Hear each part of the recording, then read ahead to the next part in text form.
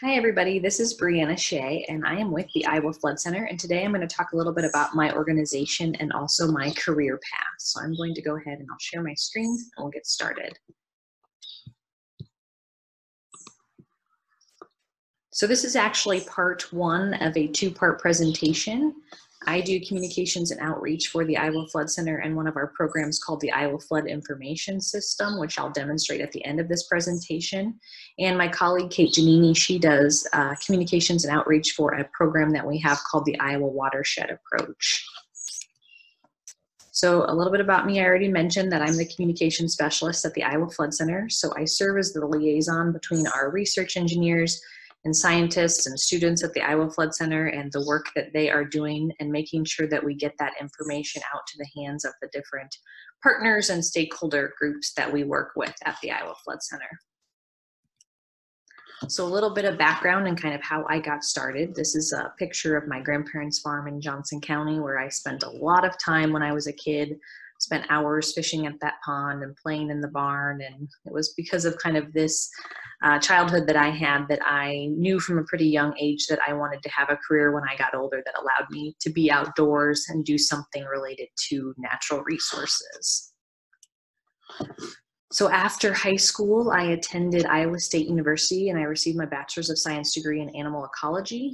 And originally with this degree, I thought that it might end up um, earning me a position working for a county conservation board, maybe as a naturalist or doing something where I was interacting with the public, kind of teaching them about the environment and natural resources and how they can be better stewards of the land. And then later, after I'd received my position at the Iowa Flood Center, I went on to earn my Master's of Arts degree in Strategic Communications, really just to kind of enhance my professional development skills and help me with the work that I do at the Iowa Flood Center.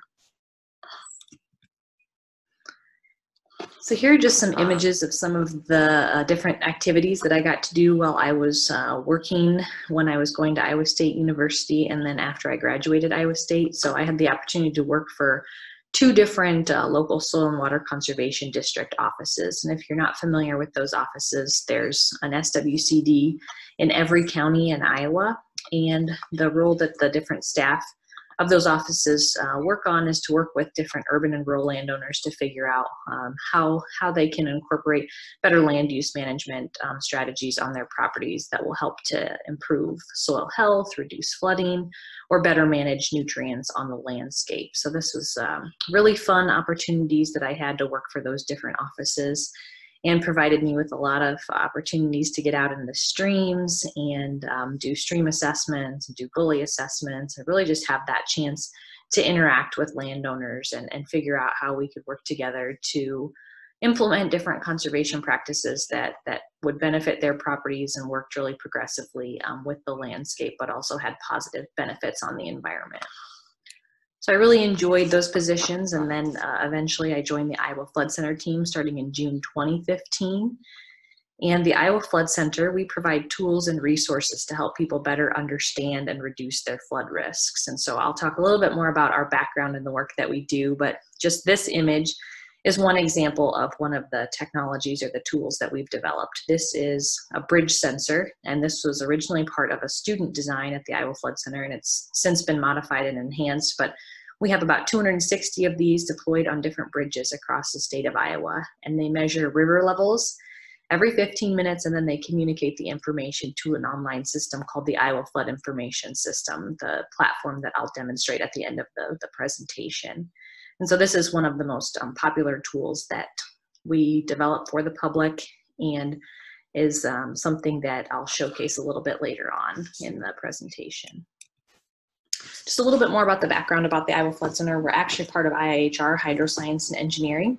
And IIHR has actually been around for about 100 years, and it is a unit of the University of Iowa's College of Engineering. And at IIHR, we have students and faculty members and researchers that are working together to understand and manage everything related to water resources.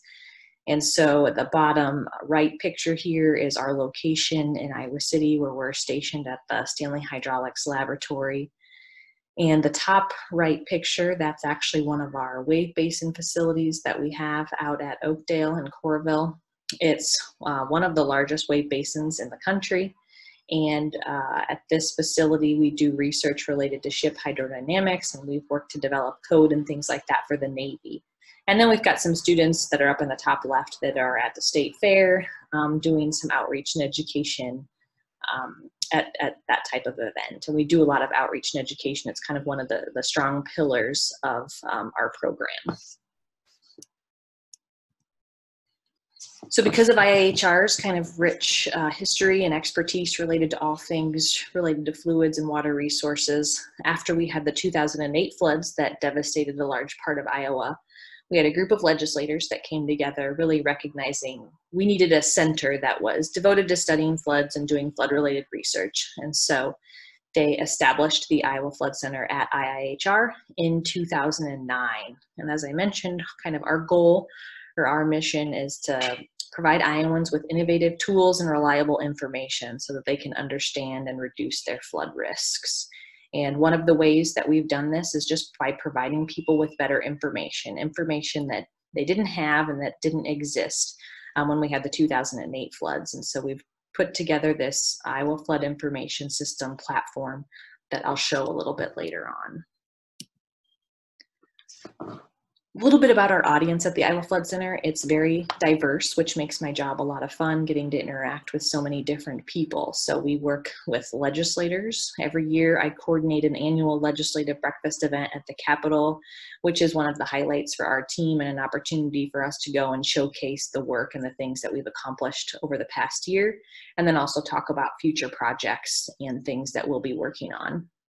And we also hold a lot of one-on-one -on -one meetings with legislators just so that they're aware of the tools and the resources that we provide and the, the benefits that we um, provide Iowans. Um, some of our other popular uh, audience members are emergency management coordinators. So there's typically one emergency manager in every county, and it's their job to kind of make sure that they're working to protect um, their citizens from all types of different disasters, flooding being one of them. So we make sure that those emergency management coordinators know about our flood information system platform and some of the tools and the resources that we have available to help them in their positions. We work with a lot of different federal and state agency groups that I'll demonstrate and I'll show on the next slide. The media, they're one of our primary audiences because when we have an active flood event or something going on across the state, they really help us get that information out to the public so they know that they can go to our online platform to access updated flood information that could help them make better informed decisions about how to protect their homes or businesses or properties. Um, and then we also do a lot of K through 12 outreach and also um, college level outreach where we go into the classrooms and we give presentations um, similar to this where we talk a little bit more about the work that we do at our center. And with uh, some of the more watershed based work that we do, in the flood mitigation work that we're involved with, we work with a lot of different um, landowners and watershed stakeholders and partners across the state of Iowa. So we really touch on, you know, federal, state, and local partners. And then more recently, because of uh, so much flooding that we've had in Iowa and surrounding states, and really across the nation, we've had a lot more interest from outside um, states that have come to us and are looking to the Iowa Flood Center to figure out what types of um, information they can learn from us and how they might be able to adapt a similar program or model back in their own states. So we've had some visitors from North Carolina and Texas, and we're involved with conversations with folks from Nebraska and Missouri and, and other surrounding states about how we can share the great work that we've done here at the Iowa Flood Center with them so that they can help um, better prepare um, their, their uh, communities in their states as well. So this is a look at some of the federal and the state agencies that we get to work with. So as you see, it's very um, diverse and it takes a lot of coordination and communication with all of these different groups. But uh, one of the kind of fun things about my job is figuring out how we can complement and support all of these other um, agencies that, that we work very closely with. And being at the University of Iowa and being an academic research center, it allows us to have a little bit more flexibility in terms of the different projects and things that we can work with. So it's been a really nice synergy with a lot of these different uh, partners that you see listed on the screen here. And we make sure that we don't um, duplicate efforts or that we're not being redundant, but we really work together to make sure that we're complementing one, one another and being very supportive of each other's programs. So the work that I do is really focused on the education, the outreach, and the communications parts of the Iowa Flood Center. And so because we are an academic research center, uh, it's really important that we're making sure that we get that great science and all of the work that we do out into the hands of the general public and the different partners that we work with. And so I have uh, the opportunity to have a lot of um, diversity in my work responsibilities and duties. So one of the things that I um, get to do is develop different print materials for the Iowa Flood Center that we distribute to our different partners and we take to events. So the top right image there is a magazine that we developed uh, in celebration of our 10 year anniversary that was a lot of fun to put together. Um, I spend time going to the Capitol and attending events with um, partners to either staff booths or give presentations and talk about the work of the Iowa Flood Center. And so we do a lot of different um, conferences and outreach activities that way. And then I also engage with a lot of the classroom events and activities that we do at the Iowa Flood Center. So that's kind of one of my favorite parts actually is getting out into the classrooms and visiting with um, students and kind of helping to educate the next generation of Iowans, which is um, a big part of the Iowa Flood Center's mission and, and charge. So now I'm going to talk a little bit about the loves and challenges of my position, and then I'll, I'll offer um, potentially some advice that might be helpful. So what I love about my job is that I get to travel the state of Iowa with my colleagues, and I feel like I have friends and partners in all corners of the state. And because I am at an academic center, I, I feel challenged, um, but I also love that I'm always getting to learn new things and learn about new tools and technologies and research that's going on at the center. And so um, I really like that part of my job. It keeps things kind of fresh and, and new and allows me to always have something different that I can be sharing and promoting with our different partners and the public. And my position is very rewarding. I feel like we are making an impact and having a very um, positive influence on, on Iowans and their ability to react and, and respond more efficiently um, when we have flood events that are going on across the state.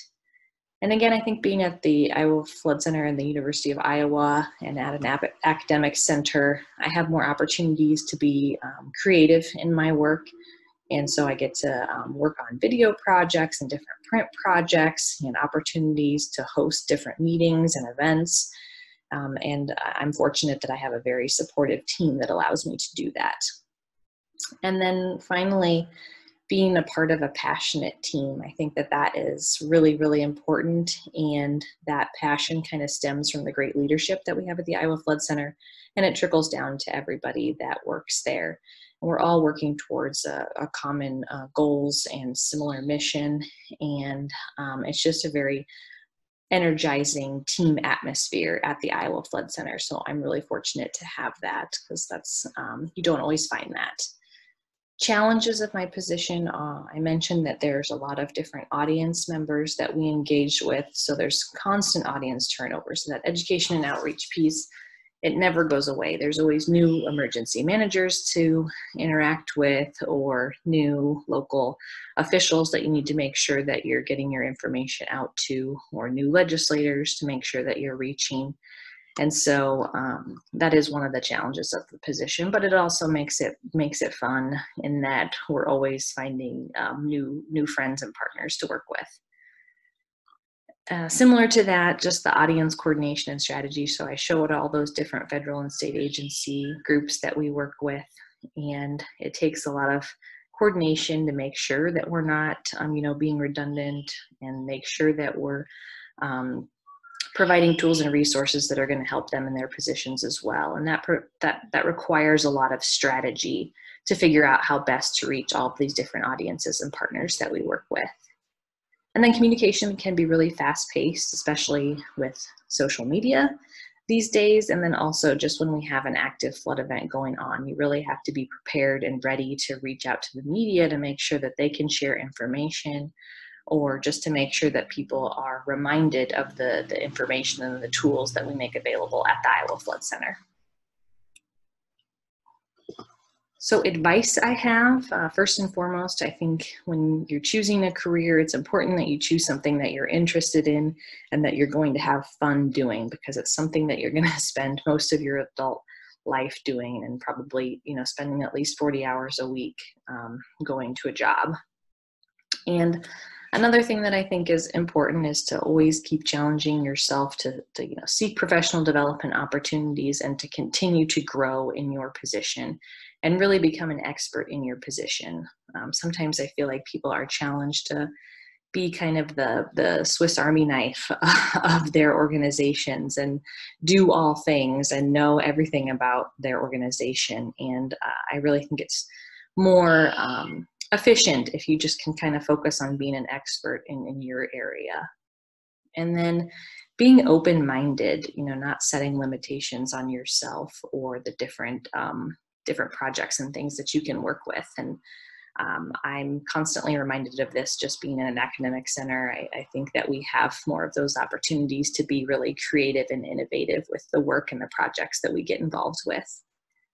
And don't be afraid of failure. So, some of the um, best lessons that I've learned has been because I failed um, at something or something didn't go exactly right when I was maybe organizing a meeting or event. But um, those have been the best growing opportunities for me. I've been able to utilize those failures and those lessons and applied them to um, future similar situations that have um, you know made those those future situations better learn about your teammates. I think this is really important because as i mentioned you know i really try and focus on being kind of an expert related to the communication side of things. I, I can't be an expert on all the technical things that go on at the flood center like the modeling and the mapping and the, the monitoring equipment and things like that.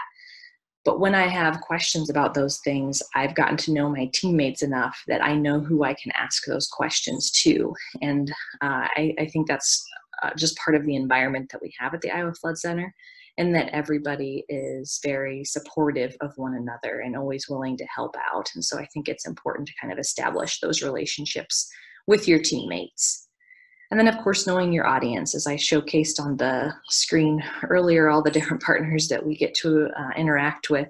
Um, it's very fun, it's very rewarding, um, but it takes a lot of time to get to know and build those relationships and, and understand what those different partners need and want and how we can best be supportive of their organizations.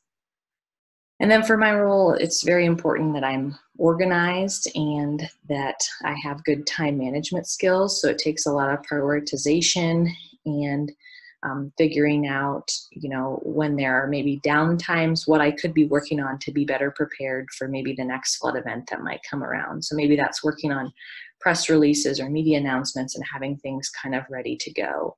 Then also, I would say being, you know, adaptable, I guess, is another important uh, key or skill set to develop. And again, that kind of stems from the environment that I work in, where a, a flood event can uh, occur um, pretty quickly, and we need to be ready and able to respond to that event and making sure that we're reaching the public and our different partners when we have an active flood situation going on.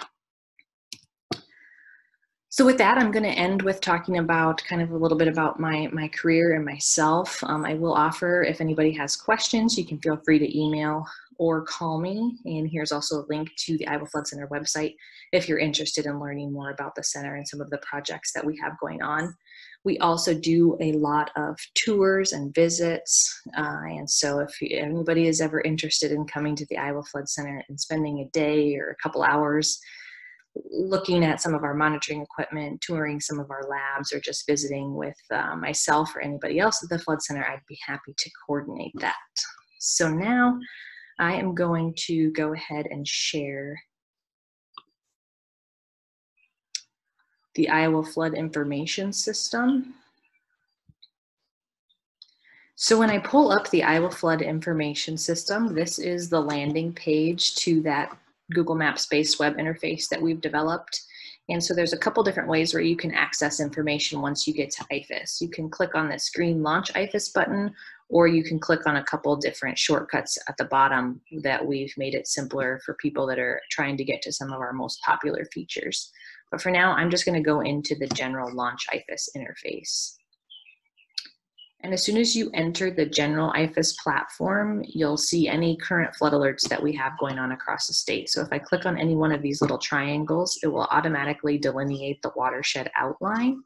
And then you can click on more information from the pop-up box that appears and you can use the slider bar to see what the river levels have done over the past week and a half and then also what they're predicted to do over the next five days. So this is really great information for emergency managers to have so that they know when to perhaps issue evacuations or close down roads and bridges and make sure that they're protecting critical infrastructure, businesses or properties in their communities that could potentially be impacted by this event. And so it's really great information, especially for those audiences. And then also just anybody from the public that might be impacted um, by this type of flood.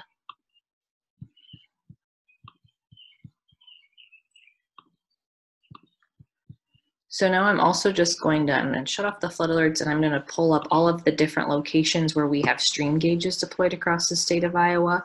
And so you see the little green squares, so those are US Geological Survey stream gauges, and the blue squares, those are Iowa Flood Center bridge sensors that we've deployed.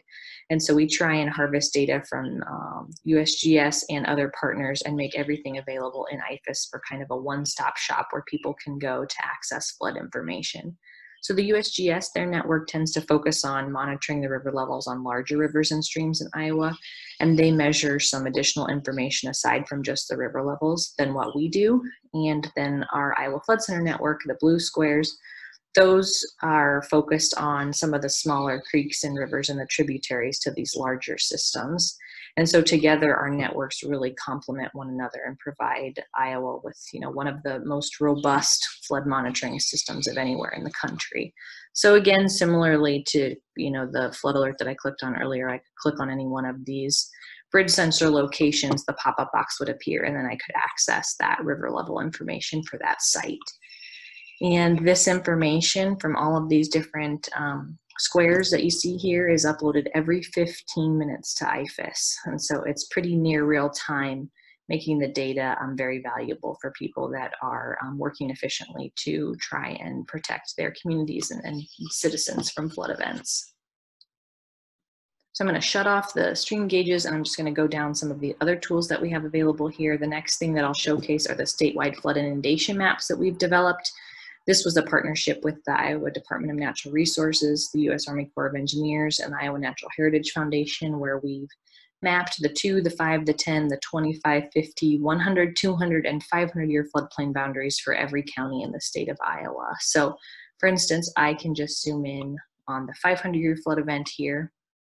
Because this is a Google Maps based interface, I can zoom in and out on any location on the map and it would show me the areas that would be impacted by this 500 year flood event. So I'm just zooming in on Iowa City here.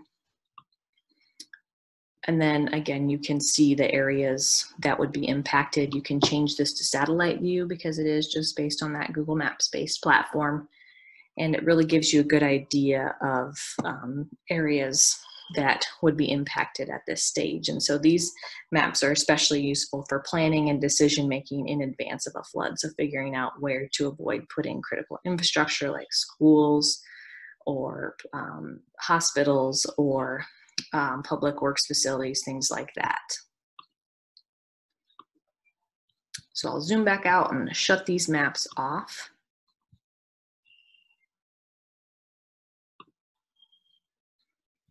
Go back to my terrain view. And then I also want to show some different community scenario maps that we've developed for a select set of communities across the state of Iowa. So we currently have about 30 of these scenario-based inundation maps developed for different communities across the state, as well as we've recently added inundation maps for pools 11 through 19 on the Mississippi River. And we continue to add about two to three new communities every year uh, to this library of inundation maps. But for now, I'm just going to click on Cedar Rapids and I'll show you kind of what these maps do. So when I click on Cedar Rapids, I can use this slider bar over here and I can create different flood scenarios. So for instance, in 2008, the river in Cedar Rapids crested, I believe, around 32 feet. And so I can set that stage and then see which areas would be impacted by that amount. And again, I can change this to satellite view if I want to. And that really allows me to zoom in on different properties or businesses that might be in that flood hazard area.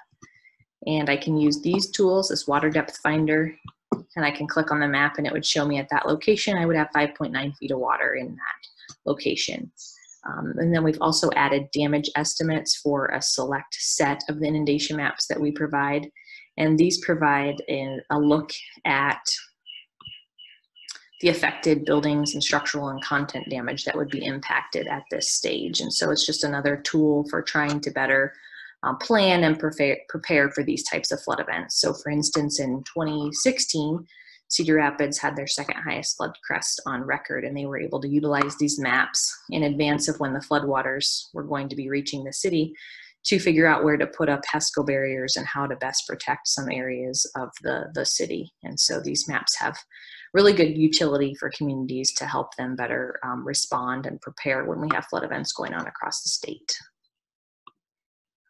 So I am just going to refresh the page and show a couple other features. The next thing that I wanted to show were just some of the weather conditions that you can access in IFIS. So you can access current, past, and future rainfall conditions. So for instance, if I turn on cumulative rainfall,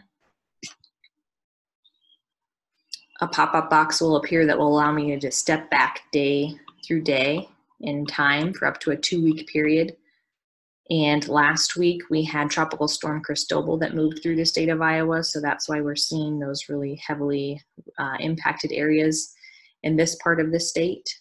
And I can go back up to that two week period to, to look at the amount of rainfall that we've received. So this just is another layer of information to put into context um, when we have flood events going on or to help people better prepare and understand flood events in their areas.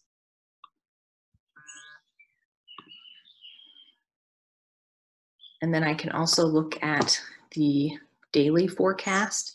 So we're expected to get some rain starting in western Iowa today and then moving through the next couple days. We also have some rain in the forecast so I can step through time day by day to kind of look at which areas are expected to be impacted by that and uh, a kind of a rough estimate of what the rainfall amounts might look like for those areas. So another great tool for emergency managers or uh, different local partners who need to be thinking about what types of impact um, this additional rainfall might have for their area. There are many other tools that you can access through the Iowa Flood Information System platform that I won't spend a lot of time going through, but I encourage you to, to spend some time navigating and exploring um, the site on your own. So with that, I'm going to stop share. And uh, again, feel free to have please make sure to tune in to part two of the Iowa Flood Center presentation to hear from my colleague, Kate Giannini. Thanks.